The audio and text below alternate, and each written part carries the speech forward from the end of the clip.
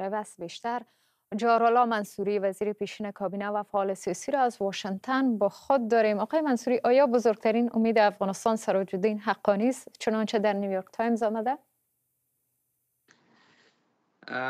بسم الله الرحمن الرحیم. سلام به شما همکاران شما و بیننده های عزیز تلویزیون شما. تنها امید افغانستان سراج الدین حقانی است؟ نه هرگز نه. سراج الدین حقانی یک تاریخی خوبی نداره. نه در دوران پدر پدر خود تا اینها تاریخ خوب دارن و نه هم سراج الدین فعلی اینها در گذشته هم آله دست استخبارات پاکستان بودن و هنوز هم که هست به اشاره استخبارات پاکستان کار می‌کنن. حال اختلافی که بین گروه قندار و بین گروه سراج الدین حقانی است درست است که نیویورک تایم این را جدیدن به دست نشر سپرده. اما این اختلاف از بدو تاسیس این حرکت است. این اختلاف آهسته آهسته ریشه های خود را عمیقتر کرده رفته.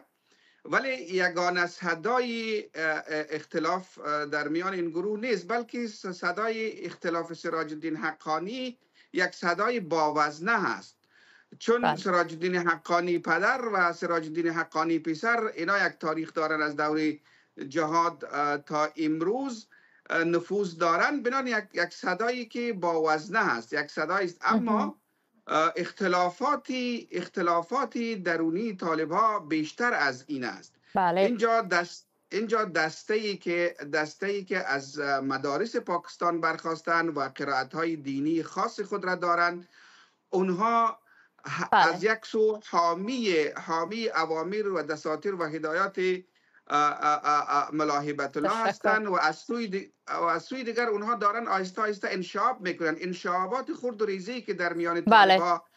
داره صورت می‌گیره اون هم خیلی خطرناکتر برای این گروه هست برای سقوط این گروه هست در بله. آینده نزدیک آقای منصوری منابع متعدد میگه که آقای حقانی جدیدترین صدای مخالف علیه سیاست های عقب حبت الله است چقدر شما این مخالفت ها را در عمل می‌بینین؟ نه در عمل خود ثابت شد که شما دیدین که ملاحبت الله همه سران طالبا را به قندهار فرا خواند و در اونجا گفت که اگر با عزل ما با برطرف کردن ما اتحاد و اتفاق در میان طالبان به میان میان من را عزل کنید. یعنی تا اون حد این اختلافات جدی شده بود که با این با این اجتماع خواستن نشان بدن که طالبان در ظاهر متحد و متفق هستند اما بعد از اون اجتماع هم شما سفرهای سراج الدین حقانی را دیدین که در پی تأمین روابط دیپلماتیک با کشورهایی هست که از صدای سراج الدین حقانی حمایت بکنن. و گویا همون قسمی که هم شما در گزارش خود نشر کردین گویا هم می‌خوان نشان بدن که گروه حقانی گروه میانه روتر و گروهی است که با اون اوامر و دساتر افراطی که صادر شده از طرف ملاحبت الله با اون مخالف هستند و نشان میتن که می‌خواین آیسته آیسته با دنیا کنار بیایند در صورتی که شهرت اینا نزد دنیا شهرت خوبی نیست و هنوز هم سراج الدین حقانی بله. در لیست سیاه هست و هنوز هم ایالات متحده امریکا بدید یک تروریست و اون می‌بیند و هنوز هم در کشورهای منطقه هم اینها شهرتی نیکی ندارن و شناخته شده هستند. اما میمانه قضیه مردم افغانستان نه گروه ملاحبت الله و نه هم گروه سراج الدین حقانی هیچ کدامی از اینها به درد مردم افغانستان نمی‌خورن.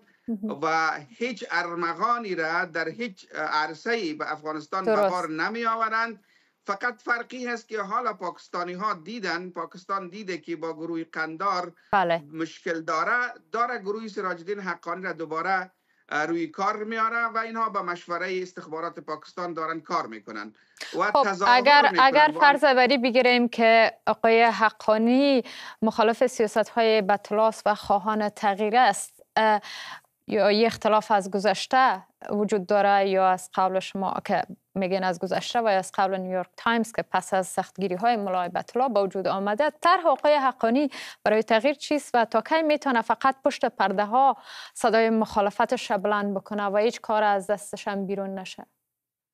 نه ببینین نیویورک تایم خو یک منبع معتبر است. واقعا در, در, در مسائل پژوهشی هم گاهی از گزارشات نیویورک تایم به خاطر اعتبار را که داره استفاده میشه. اما من نمی‌دانم که نیویورک تایم چرا حالا این را به دست نشر سپرده در صورتی که اونها هم می‌دانند که این اختلاف خیلی سابق است از سابق است.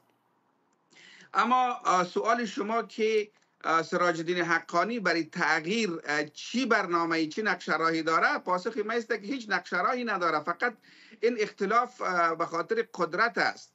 حال ملاحبت الله در رأس قدرت هست و گروه حقانی و حقانی ها می‌بینن که اینها سابقه دارتر هستند در, از, از گروه ملاحبت الله کرده و گروه ملاحبت الله برخواسته های از مدارس پاکستانی هستند و در سیاست و حکومتداری اینها اونها را خامتر می‌بینن با اون خاطر می‌خوان که خودشان در رأس قدرت بیان اختلاف برای گرفتن قدرت است نه برای تغییر. به خاطر از که تغییر از خود استراتژی می‌خواه از خود پالیسی می‌خواه از خود دکترین می‌خواه از خود نقشراه می‌خواه که هیچ نوی هیچ چیزی از این در نه در سراج الدین حقانی دیده میشه و نه هم در ملاحبت الله.